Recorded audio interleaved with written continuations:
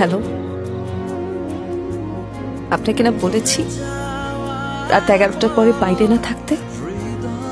আমি তো বাসায় থাকতে পারছি না এত রাতে শীতের দিনে বাইরে থাকলে আপনার জ্বর আসবে। প্লিজ বাসায় চলে যান। আমি আছি